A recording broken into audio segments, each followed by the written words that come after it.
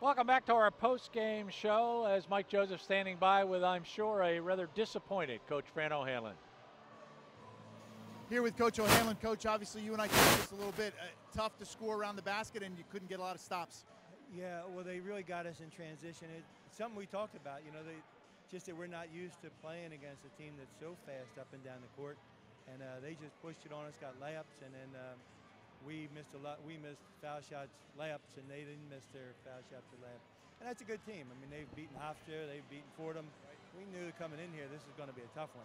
Yeah, and they uh, obviously you beat them last year, so a little revenge factor for them coming in. But you had some quality minutes for some of your young guys today.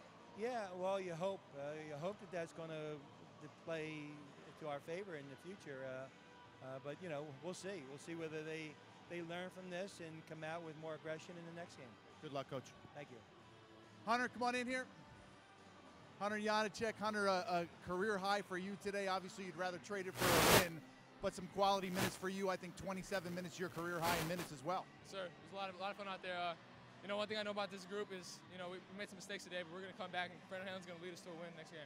Well, that, that's how I feel too. It looks like you guys are at least you're having fun out there. You're obviously not getting the results you want, but you're seeming to move the ball well. You guys are getting some open looks, and it's got to finish around the basket a little bit better. Yes, sir. Uh, we have a really talented team, and there's a lot to look forward to in the future.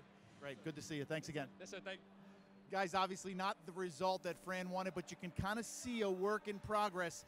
Saw five freshmen on the court at the end of the game. Back to you. There's plenty of them, Mike, and uh, Lafayette's going to have growing pains. I don't think there's any question that that's going to be the story of the season. And uh, let's go through our highlights, and then I'll wrap things up. Here's John. We'll probably see some of those freshmen uh, as we move along. And uh, in the early going, it was uh, Paulius Zalalis working around the bucket. And then look at the spin move. Great move here by Austin Evans doing what he did. Lafayette hung around early on mainly, mainly by doing this kind of thing around the bucket. They had an inside advantage, and Klinewski went to work early, and then uh, good ball movement. Nick Lindner steps in with a three. When you can establish the inside, uh, then things are going to open up on the perimeter. There's our Coca-Cola player of the game, Hunter Janacek, with one of four of his threes. Then Matt Klinewski again around the bucket doing a nice job going to work. Lafayette showed uh, flashes at times. Kyle Stout with a catch and shoot Lafayette needs to be able to move the ball and do more of that sort of thing. Nick Lindner in transition, steps up, knocks down a three, and then again, Matt Klinewski running hard to the bucket, and the freshman, uh, Lucas Jarrett, following up. Look at the little dribble uh, and pull up jump shot mid range by Austin Evans, only a, a, sophomore. Lucas Jarrett hit a couple from that baseline. He's got a nice soft touch. This isn't a replay. This is just another shot by Lucas Jarrett. Watch Miles Cherry on the inside. 6'8, left handed, long arms, high basketball IQ. But in the end, it was really the defense in transition uh, from this talented Sacred Heart team, Gary. I think they are a sleeper in the Northeast Conference. Uh, you know, they can create uh, points with their defense. Boyevich right there can step away and shoot the ball. Look at the no-look pass. I thought Tucker was really their catalyst today. He did so many things so well. There's a teardrop down the lane. He got his share of points, but more than anything else, these guys were living off him. Lopez in the low post, Joseph Lopez with another good game, and uh, I'll tell you, they just kept going and getting the ball off the rim. Look at another pass by Tucker. That one to Davon Barnett for the finish. This kid, Hoehn, gets to the rim, and then uh, Barnett finishes up again. They dominated the glass. Look at the uh, uh, creativity by Quincy McKnight. He finds Lopez. Another no look, and the finish by uh, Buovac again. And uh, Robinson this time from the perimeter. They share the ball well. They look for one another. A very good passing team. Hoehn does a nice job. He's one of those kids that just kind of sneaks up on you. And look at the up and under that time by number 12. That was Sean Montague off the bench. Everybody who took the floor for the Pioneers today had something to say about this game.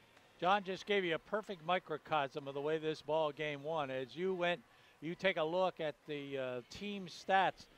Six players in double figures for Sacred Heart in this ball game as they were led by Joe Lopez, 14 points and 14 rebounds.